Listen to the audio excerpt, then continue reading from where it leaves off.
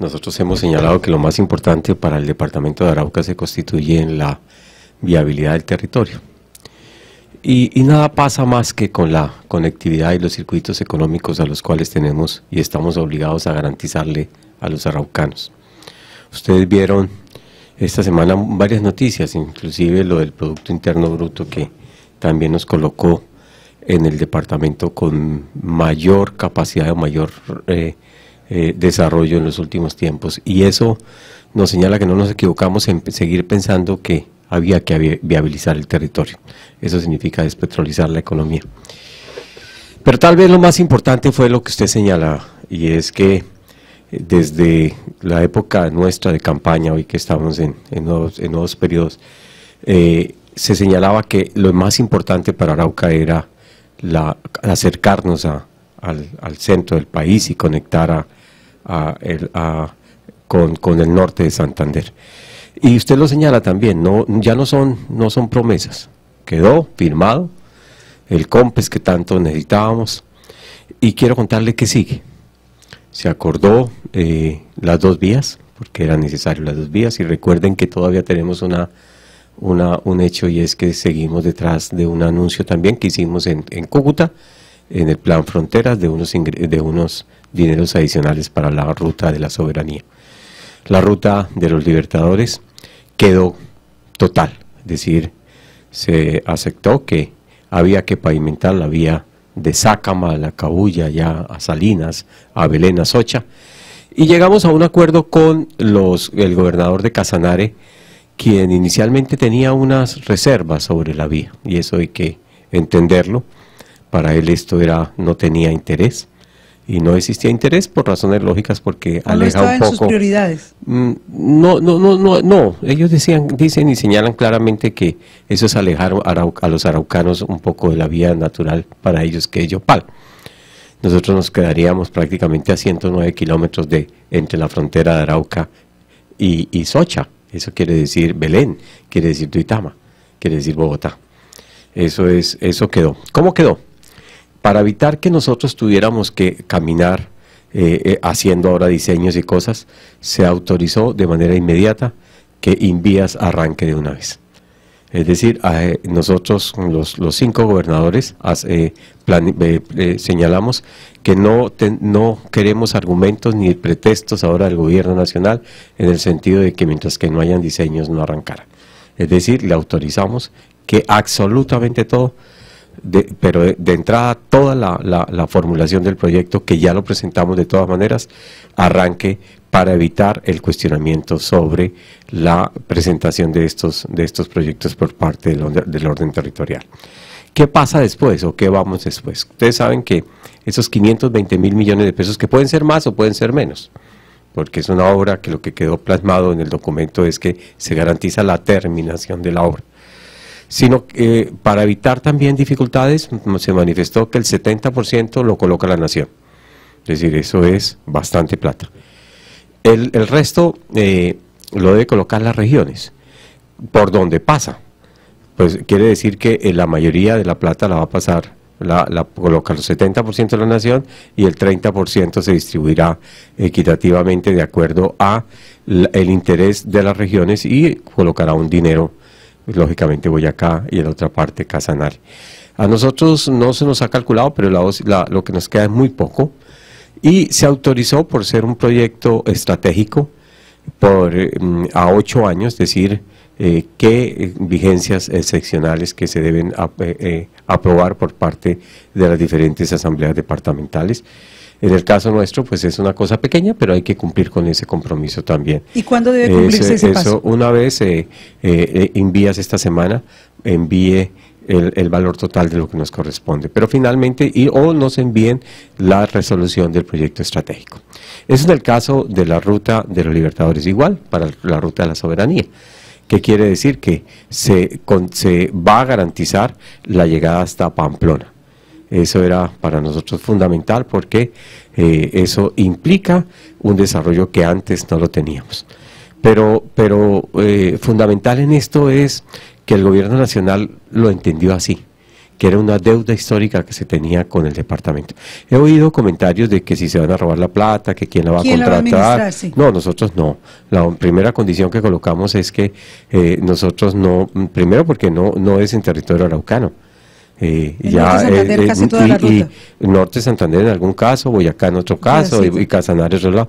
No, lo, lo, lo dirige directamente eh, la nación y lo debe hacer así porque el 70% lo está colocando la nación. Por lo tanto, eso es una... es Y la otra forma es para poder garantizar que la obra se termine porque lo que no planteamos nosotros es que no puede quedar después la discusión que nos faltaron 10 mil millones, que nos faltaron 3 mil, nos faltó el, el, pedacito. Entonces, ¿qué convierte esto en vías nacionales? Es decir, al convertirse en una vía nacional, queda bajo la responsabilidad del orden nacional. ¿Quién le ayuda a la región en este, en este proceso. Uno tiene que buscar aliados. Usted eh, tiene unas posiciones en este momento muy importantes a nivel nacional, delegado por sus compañeros gobernadores, pero uno pues utiliza eso para buscar aliados, para decir, cúmplase. ¿Y por qué la duda y esta pregunta, señor gobernador? Porque el presidente se han hecho gestiones para una inversión en defensa del río Arauca, el presidente en construyendo país en Saravena dio la orden y no se han hecho la transferencia de los recursos para esa defensa. Entonces la gente pierde la fe en eh, el procedimiento, el, trámite, el interior del gobierno. ¿Quién puede ayudar? ¿Quién está al frente para decir no se burlen de la región y esto se cumple? Sí, tienes razón la pregunta y, la respuesta es clara. Eh, esto necesita aliados, necesita dolientes. En el caso específico de Arauca, y, tengo que reconocerlo, eh, el presidente se comprometió con nosotros, pero tal vez la figura eh, la señora vicepresidente, Marta, eh, Lucía, Ramírez. Ella ha estado eh, desde un primer momento e inclusive en, esas discusiones que ustedes entenderán, cuando yo estoy sentado con cinco departamentos y cada departamento tiene su fuerza parlamentaria, con senadores, con representantes. en las dos comisiones, tanto de, la, de los bicentenario quedó la senadora de Casanare y, el, y un representante de Boyacá, como los dos representantes del, de la Cámara, de la, de la, de la, del grupo parlamentario, pues es difícil a veces uno solo sentirse eh, eh, eh, golpeado y, y, a veces peleando contra todos ellos porque cada uno de ellos defiende sus, pues, intereses. sus intereses y eso es natural porque para eso son representantes.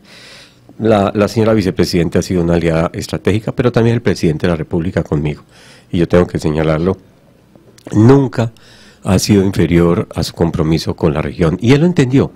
Tal vez la mejor expresión que los es lo que dijo él en Saravena. Esto no es la ruta de los libertadores, es la ruta de la libertad. Y él lo dijo así claro. Y la ruta de la soberanía es ruta de la libertad. Y la única forma de seguir potenciando el territorio, y ese era mi compromiso, mire Carmen Rosa, los araucanos deben entender que nunca en la historia se había conseguido para un periodo esa cantidad de dinero, ni y este sueño de, lograr el desarrollo no era posible si no teníamos eso. seguiríamos siendo el mejor cacao del mundo, el primer productor de plátano, sacando toda la, leche y sacando todas las cosas, pero no teníamos los mercados naturales a los cuales hoy todavía tenemos dificultades. Mire lo que pasó con lo de la lactosa. Si nosotros hubiéramos tenido vías, en este momento no tendríamos ni siquiera, estaríamos riéndonos sobre los problemas. Pero quiero contarle algo pegado a esto.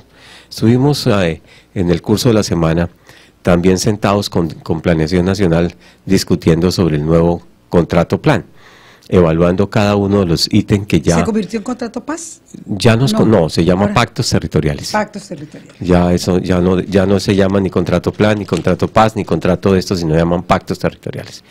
Y para sorpresa mía, dado la, que nosotros nos comprometimos en adelantar cada uno de los ítems que estaba señalado en el contrato plan sin la nación, pudimos demostrarle a ellos de que nosotros hemos avanzado y cumplimos en la totalidad. Este gobierno terminó cumpliendo el, cierre de lo que estaba planteado. Entonces el gobierno nacional está haciendo una contrapropuesta que eh, será una sorpresa para en, ocho días, tendría que contárselo a ustedes para no generar promesas, expectativas.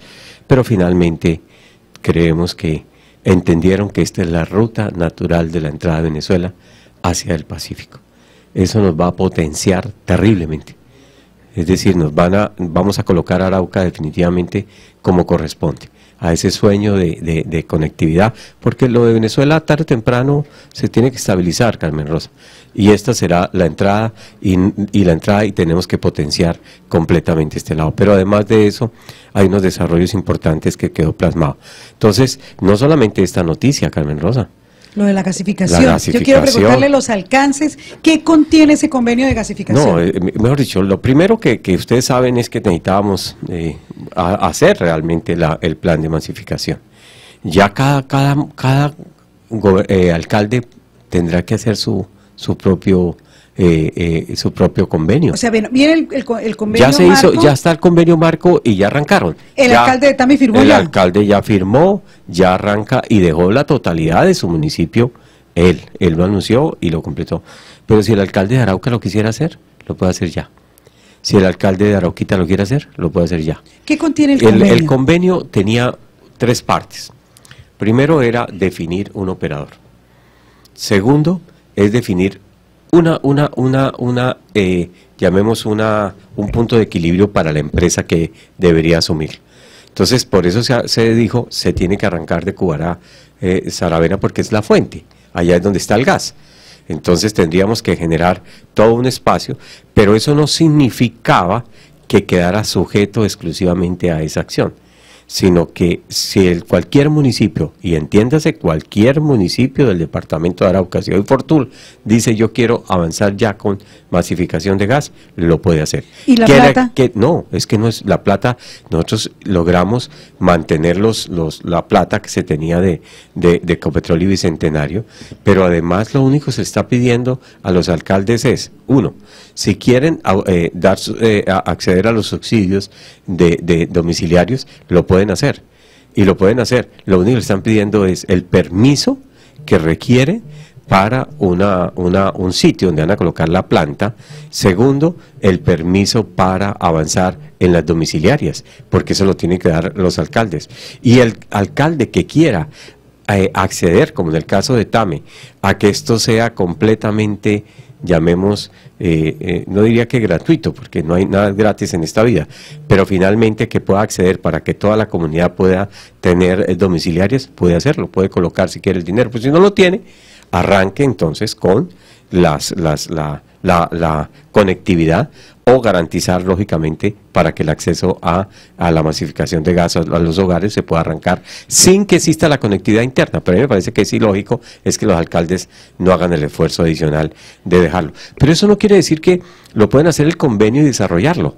Mm, porque puede, en el caso de Tame se espera que en seis meses quede completamente esto, pero como le digo, cualquier alcalde en este momento puede hacerlo. Eso ya, ya no es ni siquiera que hay que hacer un nuevo convenio, ni hay que hacer nada, simplemente firma un convenio se le giran los dineros de la plata que tenemos ahí guardada, de una plata que nosotros hacemos interventoría, los, los municipios si quieren participar lo pueden hacer, y si no, existe un dinero ahí depositado en una fiducia que pueden hacer acceso eh, pueden tener acceso a ellos. El alcalde también fue muy oportuno, muy ágil, entendió y firmó inmediatamente, estamos en ley de garantía. ¿Los otros alcaldes tendrían que esperar a que pase la ley de garantía o no los afecta? Eh, nosotros tenemos una discusión porque en el plan de desarrollo habla de que los planes estratégicos no, no están sujetos a, este tipo de ejercicios, porque esto es una ejecución de una obra ya firmada. El convenio marco ya está. Por lo tanto, no, no existe una limitación. Pero vamos a suponer que, que jurídicamente algunos puedan interpretar que se que tienen porque que están en limitación. Lo tienen, lo pueden hacer. Lo pueden decir ejecutando, ir haciendo todo esto y lo arrancan. Sí, sí, sí. Yo, yo creo que hay una cosa que tenemos que aprender los araucanos. Es que, por ejemplo, hay cosas que, que yo no... Si yo me pusiera a pensar en eso, yo, no hubiera hecho lo de las obras por impuesto, yo no hubiera hecho esta parte de, de dejar absolutamente todo ya organizado y diría, pues si yo no lo voy a entregar, ¿para qué lo hago? No, no, no, eso no importa. Arauca está por encima de nosotros. A propósito de obras por impuesto, la gente ha estado escribiéndome hace varios días, Carmen Rosa, obras por impuesto está incluida la continuidad de la ruta de los libertadores hacia Arauca. ¿En qué tramo y cuándo se inicia? Ya está socializado, ya están, eso está calculado para eh, empezar a finales de julio primeros de agosto. ¿Y va hasta porque dónde? está, ¿Dónde, es- son unos, son, es arrancar porque hemos querido que de Panamá, la zona de Panamá y Arauca, Sí, se fuera, se incluyera ese pedazo porque hay unas zonas más afectadas. Unas ondulaciones Unas muy ondulaciones fuertes. muy fuertes, pero eso, acuérdense que eso es vía nacional. Entonces, lo que estamos negociando en este momento dentro del mismo contrato, hoy plan me- me- o, pacto. o- o pacto territorial, es la terminación de esa obra en su, eh, totalmente. ¿En qué tramo iría? Eh, eh, pegado, pegado a Panamá, unos kilómetros hacia allá y unos kilómetros hacia acá de Panamá y Arauca. Eh, realmente no, no sabría de qué kilómetro a qué kilómetro, pero eso está contemplado eso. Y recuerde que esa es una. La otra que quedó es la zona de, de aquí, de la Antioqueña. de Arauca a Arauquita. Que es una obra que también dejamos nosotros gestionada. Acuérdense que nosotros logramos la pavimentación también de esta parte que está sobre la universidad y sobre, sobre toda esa zona que ya se recuperó y que va sobre ese lado. Pero déjeme decirle, usted me hizo una pregunta que no hemos tenido respuesta, que no le he dado respuesta, que es ¿qué pasó con la con lo de Peralonso? Sí. ¿Y quién es en eso? Esta semana tuvimos reunión precisamente con la señora vicepresidente porque eh, nosotros también nos hemos sentido burlados en, haber hecho la gestión, lograr que se hubiera quedado incluido dentro de ese proceso por parte del gobierno nacional los 10 mil millones de pesos y no se ha girado. Eh, la señora vicepresidente me, me dijo que ese mismo día haría la gestión. Hoy hicimos nosotros y vamos a hacer un derecho de petición también. Y si no, qué pena con el gobierno, pero va a tutelar. Pero esto es una cosa que, que no corresponde a- al sentir y al dolor de, los, de, de la gente, porque finalmente, ¿qué nos, qué, qué nos colocó con el nuevo plan de desarrollo y con, la, y con lo que se eh, autorizó eh, a finales de año? Es que lamentablemente los departamentos ahora no tenemos acceso a los recursos de gestión de riesgo. Eso quedó exclusivamente en cabeza de los municipios, pero nosotros sabemos que la capacidad de, los- de algunos municipios es, es ridícula, eso no tiene... Y se necesita ah, y- y- muchísima y se, y plata. no se- y se necesita más de lo que cada municipio tendría que gastar casi todo su presupuesto. Entonces nosotros hemos pedido una reunión urgente también de toda la Federación de Departamentos para avanzar. Pero lo que quiero decirle es, eh, la señora vicepresidente me dijo, espéreme el martes y miércoles y si no, vuélvame a escribir porque me volveré, como dice ella, el peor karma para el ministerio porque lograremos sacar ese dinero que está ahí. Hay muchas cartas que hemos mandado, pero es que mire que hasta la plata que invertimos en esa variante, hoy prácticamente con las lluvias quedó mm, prácticamente destruida. Entonces, eso no, eso, eso, cuando ya vayan a, a hacer la obra, ya yo creo que los nueve mil y pico millones de pesos que estaban planteados van a quedar cortos y va a ser peor. Pero, pero bueno, esa, esa es, esa es la razón y es la Para respuesta. concretar, el derecho de petición y en caso de no tener respuesta, la tutela sería contra el Ministerio de Hacienda quien debe transferir los recursos. Claro, porque es que está firmado un documento y eso tiene fuerza de ley. Los acuerdos entre gobierno nacional y gobiernos departamentales o gobiernos territoriales, cuando se firman, eh, tiene, tiene fuerza de ley. Y, y- y- no, y no creo que el Ministerio de Hacienda se va a quebrar este país por 10 mil millones de pesos y sí nos está haciendo un daño terrible porque nos va a dejar completamente incomunicados. Genaro Lomónaco está escribiendo y dice, ¿qué posibilidad hay de adicionar al contrato en ejecución del pavimento de la vía Arauca el Caracol? Todo depende, yo le dije a Genaro en su momento, depende de los recursos que logremos en el FOMPET, que también fue una reunión que se hizo esta semana en el Ministerio de Hacienda y que logramos dictaminar que Arauca tiene derecho a unos dineros y vamos a esperar porque finalmente, eh, tengo que decirlo, ya a- habían aparecido, aquí aquí son típicos, no digo no aquí en, en Arauca, sino en Colombia, y aparecían unos intermediarios para lograr eh, eh, como Tramitar los tramitar los recursos. dineros que le corresponden al, al ente territorial. La primera y cosa... con un porcentaje de ah, ah, sí, eso sí, todos lo piden. Entonces, como afortunadamente y gracias a Dios, eh, confiaron, el gobierno nacional y los, y los colegas confiaron en este gobernador. Yo soy comisión rectora y en la comisión rectora me siento con la directora del FOMPE. Por lo tanto, ella se parte junto con ADRES en, en, en, en, esos ejercicios y lo primero que me dijo gobernador, eh, confíe en que nadie le podrá entrar ni, a- ni usufructar sus dineros que le corresponden. Todo depende de eso. Yo le he dicho a Genaro y a lo mismo a Autorino que han sido líderes de eso. Todo depende, todo depende. Depende de, de- del momento, depende de, de la cantidad de dinero que llegue, porque hay un compromiso primero, que es lo que yo siempre he señalado, que es dejar arreglado completamente los pasivos del hospital. una vez se cumpla, se cumpla eso, esos pasivos que, que naturalmente, porque ustedes recuerdan que en estos días estaban, había una manifestación de la, de la gente del hospital que con razones cada uno discute. Finalmente, yo lo dije desde primer, eh, primera oportunidad, son el, el ministerio señalaba que no era viable el hospital, porque todo lo que entra es para pagar, nómina pero se sigue teniendo las la, la, dificultades en, en, suministro de una serie de elementos. Entonces, ¿qué se planteó? Que, y, lo que tengo que quitarles todos los pasivos, y ese es mi compromiso. Es decir, primero cumplo con ese compromiso que es el de dejar saneados los pasivos del hospital, que nadie sabe cuántos son. Pero déjeme decirle algo que también es importante. Con el gobierno nacional llegamos a un acuerdo. Como es, hemos sido tan eficientes en la ejecución, y ustedes vieron que hoy Arauca fue ocupa el primer lugar junto con Antioquia, junto con Antioquia, porque es el mismo número. En crecimiento, en crecimiento. Quiere decir que es del departamento que mayor ha crecido. Usted, la gente dirá, pero ¿cuál? ¿Dónde se ve? Que no sé qué cosa. Puede que los demás estén peor. Pero el, departamento que más ha crecido en, Producto Interno Bruto se llama en este momento en primer lugar, lo tiene Arauca, lo tiene Antioquia. Es decir, en el mismo lugar y eso lo hemos logrado gracias a un, ejercicio que la gente no lo entendía en su momento. Que la gente me decía, pero ¿cómo invierte usted en la zona del Piedemonte? ¿Usted cómo invierte en la zona rural? ¿Usted cómo invierte en no sé qué cosa? Es sacar nuestros productos, es, es capitalizar ese potencial endógeno que tenemos, es lograr permitir que los, que los araucanos puedan soñar de manera diferente. Y lo decía no como, como un amigo o enemigo de, nadie, sino simplemente como un comprometido con, con, la, con el futuro de Arauca, que la real situación o el real futuro de Arauca está en el campo. ¿Y la inversión en ese crecimiento y está en, el campo? Y sale en el campo. ¿En qué porcentaje en, total? El, el, total estamos cerca, es decir, somos primer lugar en 3.5 es decir, somos primer lugar, no sé si te mantén bien las, cuatro, las cuatro líneas, que eso es, eso es, está por encima, son cuatro departamentos. ¿Cómo ha crecido? Hay uno de ellos que ustedes llamarán que está también el Bichada, pero es que el Bichada le, le, pusieron desde la, esto una cantidad de forestación que le ha permitido, vuelvo a insistir, fíjese, el sector rural.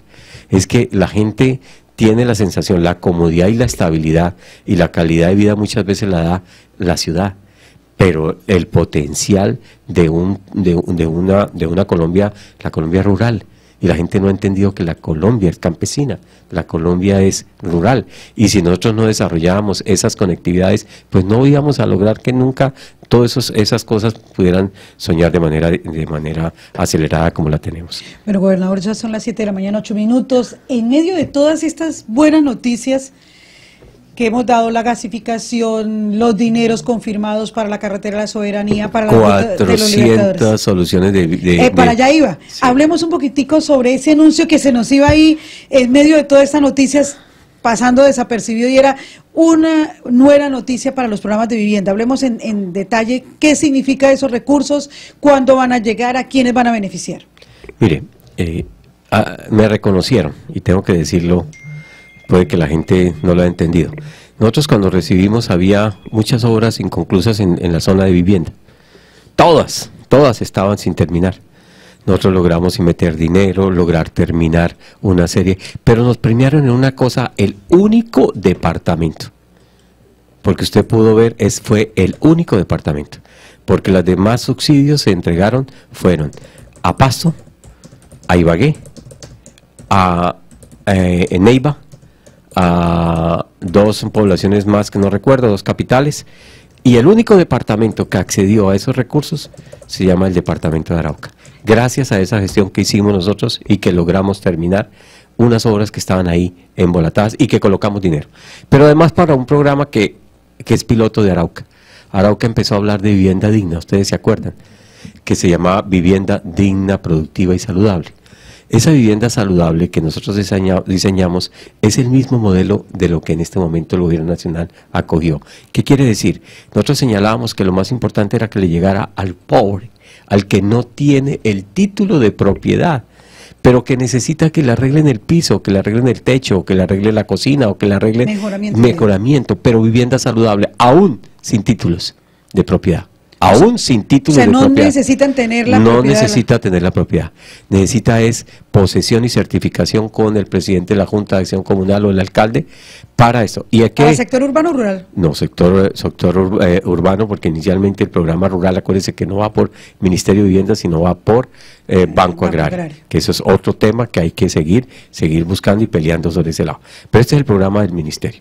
Entonces logramos 400, eh, eh, a- a- para 400 eh, familias arrancar. ¿Qué nos toca? Pues nos toca, logramos modificar una, un articulado para que podamos, como hay una contrapartida, que nos permitiera a través de local regional poder llegar y acceder a eso. Entonces, quiero decir, los araucanos, en este momento arranca por capitales porque este programa fue de capitales. Arauca Capital, la primera Arauca beneficiada. Capital, la primera beneficiada. Entonces, para que no quede que es que porque no me llegó, es porque les le dije los, los capitales se le dieron, vuelvo a insistir, Neiva, Pasto, donde, donde esto. Pero nosotros, como único departamento, no reconocieron esa, esa parte. Entonces arranca el programa. eh, 400 mejoramientos que ya estamos postulando gente. Es correcto, hacia allá iba. ¿Qué tanto limita esta época electoral Ninguna. esa postulación? Ninguna, ninguna. O sea, ninguna. ellos pueden ninguna, no hay ninguna, ninguna- porque esto, acuérdense que nosotros podemos seguir trabajando y haciendo Claro. licitaciones, haciendo cosas, y vamos a hacer licitaciones. Lo que pasa es que lo que limita son las contrataciones directas, eh, que es lo que hay la ley de garantías. Bueno, gobernador, hay varias noticias que están en desarrollo. Ya le hemos estado contando a nuestros oyentes todo el resultado de las gestiones en Bogotá. ¿Qué estaba haciendo el gobernador en Bogotá? ¿Cómo le fue? El resumen lo hemos presentado a continuación, pero mientras tanto a nivel regional hay unas eh, noticias y hay unos problemas que están en desarrollo. Uno, el Hospital San Vicente de Arauca. Dos, las inundaciones. Tenemos más de 7 mil personas damnificadas. Pero Alonso ya se refirió, va a acudir a una acción popular, va a acudir a una acción de tutela. Hay una mesa instalada eh, con eh, el comité que busca la rebaja de energía. Se va a reunir con el sector de la salud. Hablemos de la agenda esta semana, gobernador. Muchas, muchas. La primera que quiero decirle a mis inmediatos colaboradores es que se avecina un nuevo periodo y que la democracia lo más rico es que se renueve y los araucanos ahí tienen opciones para poder esto. Entonces pedirle, voy a reunirme con todo mi equipo asesor y el que decirle claramente que el que Quiera participar. quiera participar, pues tiene las puertas abiertas, muy agradecidos, muy queridos, pero finalmente la primera condición es que yo tengo que ser garante de que no voy a participar ni solapadamente ni abiertamente a favor de ningún candidato. Por, obvias razones, porque yo siempre he hablado de apertura e inclusión. Yo hablé de paz y hablé de paz territorial. Entonces, eh, ponerse uno en ese papel y fui y mucha gente me criticaba, me decía este políticamente no quiere no quiere hacer nada. Yo quiero eso que uno tiene que ser con- congruente con lo que con lo que sueña y con lo que postula. Y eso suena feo. A mí en Bogotá me dicen, pero ¿cómo va a hacer eso? Le digo, sí, lo voy a hacer porque tiene que ser así. Tiene que ser así. Yo creo que los araucanos tienen una oportunidad, pero también la gente tiene la, forma y de, de- de- de decir a quién le gusta y a quién no le gusta. Segundo, eh, viene una, una, usted habló de, de lo de salud. Eso la semana pasada logramos, mire, me tocó ir prácticamente de ir de una oficina, llevarlo a la oficina jurídica de ADRES, sacarlo a la oficina de ADRES, de llevarlo al, Ministerio de Salud, llevárselo de la parte jurídica, subírselo al Ministerio, al ministro para que lo firme, luego devolvérselo a ADRES para que giraran la plata de los migrantes, que era una de las... ¿Cuánto giraron? son 4 mil millones de pesos, de esos 4 mil millones de pesos va una parte importante para el Hospital San Vicente, que ya se le giraron, junto con algo que yo le decía a los, a los, a los, a la gente de, los sindicatos que estaban ahí protestando.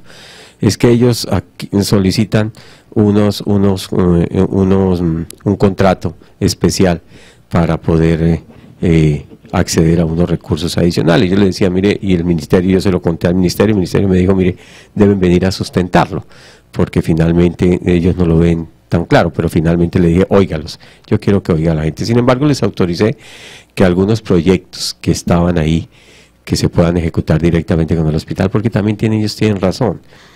No tiene sentido que un hospital que, que vive prácticamente, es el único hospital que tiene Arauca, uno, uno los contratos o los contratos casi que se los lleven eh, por licitaciones, se terminan llevando los particulares y ellos pueden ejecutar algunos contratos que le fin- finalmente pueden financiar parte de lo que la gente pa- para algunos pagos de las nóminas de ellos.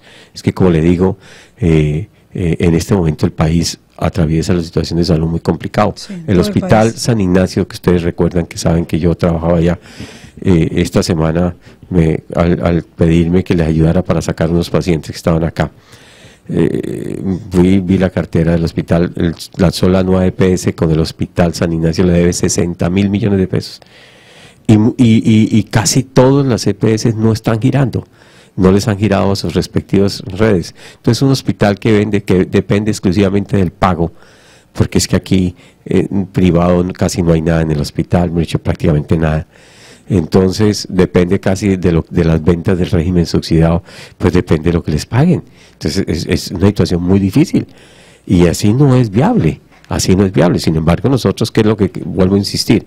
Tenemos que dejar saneado seguir luchando por el saneamiento del hospital, que es el sueño, pero también me lo decía el ministerio, eh, eh, no es justo que yo haya invertido un dinero y el ministerio también haya colocado una parte y, tengamos hoy las urgencias terminadas y no la hayamos inaugurado. No se han no, se no, no, se inaugurado cuando ya está dotada. Ah, eh, la razón que ellos aducen es que hay que contratar gente. La ley no lo permite, porque hay una ley de saneamiento fiscal y financiero. No podemos nombrar más gente.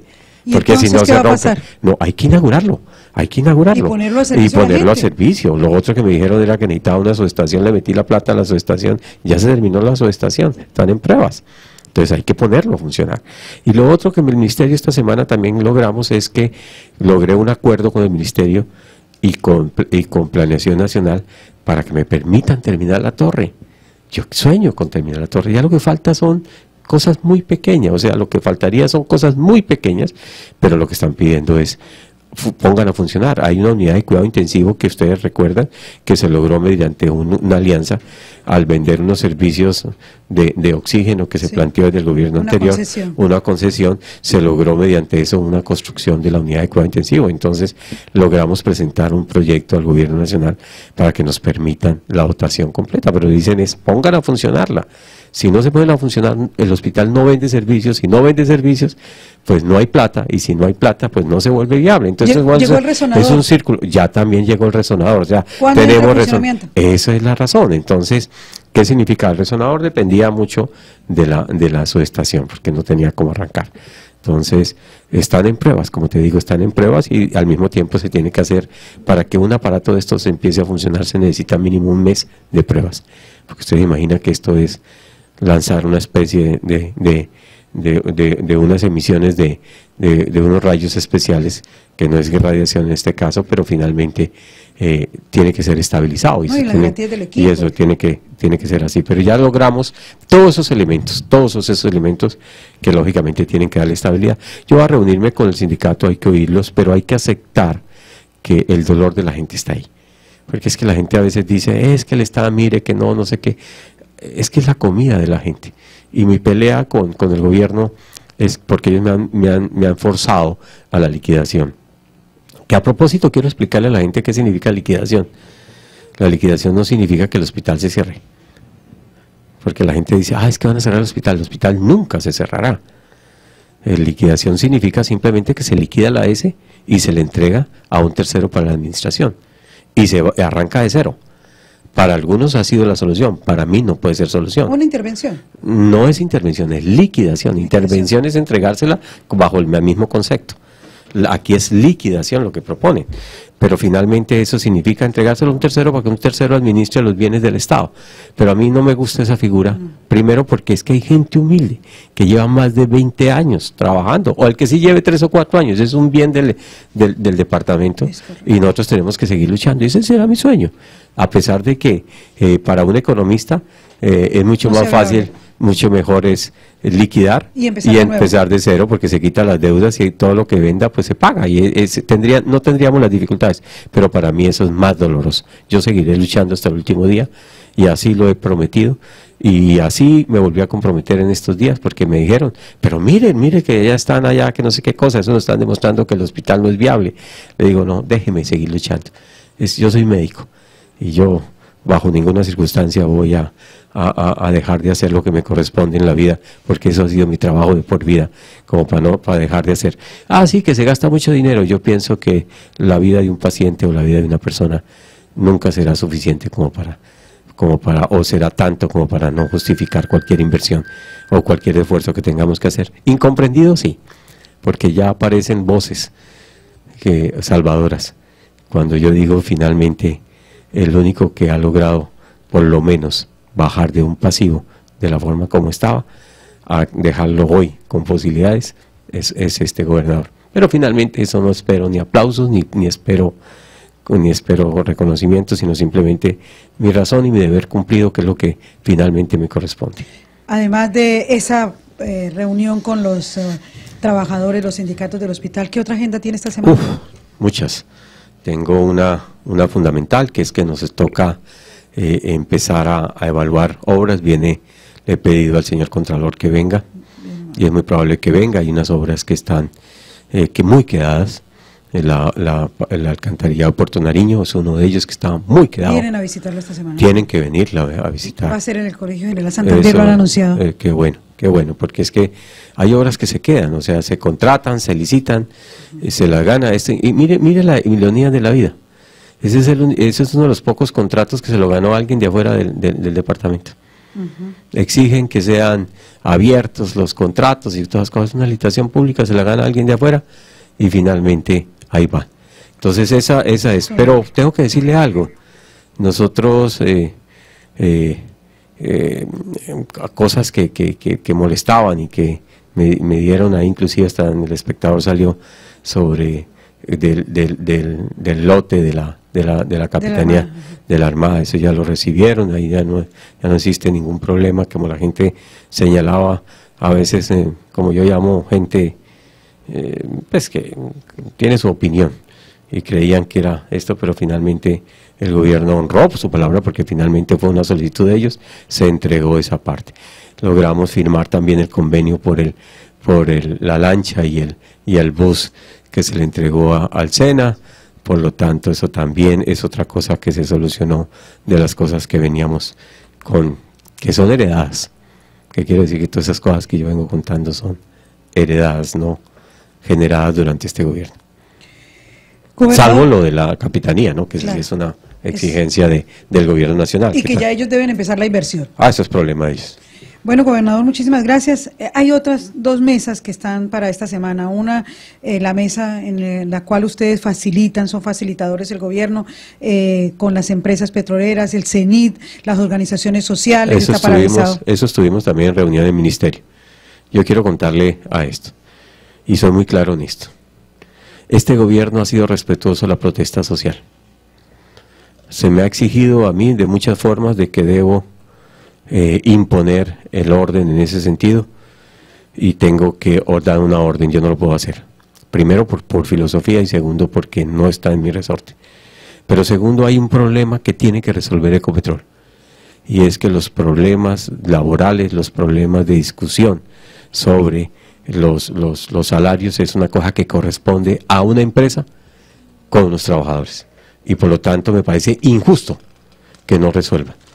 Y nosotros hemos facilitado hasta donde esto y seguimos abogando para que esto se tenga que dar. Cosa diferente es que se vuelve un, un oleoducto y no lo, y no, lo, no, no lo reparen porque finalmente hay un riesgo muy grande es un riesgo terrible. Ustedes saben lo que ha pasado, un solo incendio que llega a haber se lleva medio, media, media, media familia. O la contaminación ambiental. la contaminación ambiental. Eso, eso es una cosa que ahí sí es, es diferente sobre ese lado. La otra mesa que se instala hoy eh, tiene que ver con la rebaja de las tarifas de energía. También eh, pues, Nosotros hemos facilitado y previamente este gobernador citó a todos de una manera abierta a esa reunión, fue el que planteé que Arauca necesita eh, eh, un par de parques solares y, nosotros contratamos la, la, la, el, el, el, estudio para la, eh, lograr en la fase de factibilidad para la generación de 20 megavatios por parte de una pequeña central hidroeléctrica, más las dos mm, parques solares, garantizarían lo que nosotros decimos que es la única forma de bajar los precios. Yo entiendo y, y, también eh, eso es una eso es algo que hay que seguir trabajando Carmen Rosa porque donde no exista una, una, alivio de las tarifas eh, eso, eso, eso es difícil. Pero yo quiero decirle, eso no es responsabilidad de, de, de, de.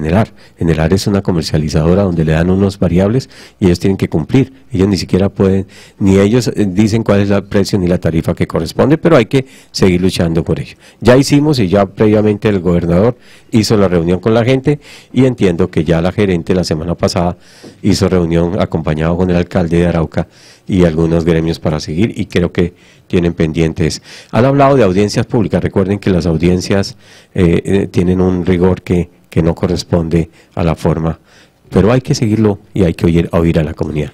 Bueno, gobernador, muchísimas gracias. El gobernador del departamento de Arauca, Ricardo Alvarado Esteni, ha entregado un completo balance, le hemos entregado a nuestros oyentes un completo eh, resumen de lo que se ha conseguido, lo que viene para Arauca, pero también de tareas inmediatas que tiene el señor gobernador del departamento de Arauca. Se va a reunir con todos los funcionarios públicos, les va a hacer advertencia que lo que quieran hacer activismo político y quieran en campañas políticas, pues que se retiren de la administración. Esto claramente, recordemos que eh, el eh, Contralor, el Procurador ha hecho una resolución al respecto, ha llamado a que no se utilice el Estado para hacer campañas políticas. El gobernador ha ratificado que se va a reunir con los trabajadores, también que se va a reunir con la gente del Sindicato de la Salud los alcances de los programas de vivienda, beneficiarios directos y primeros de este programa de vivienda, mejoramiento de vivienda, los de la capital, no tiene nada que ver con eh, este proceso que se adelanta y limitaciones por la campaña política, quiere decir que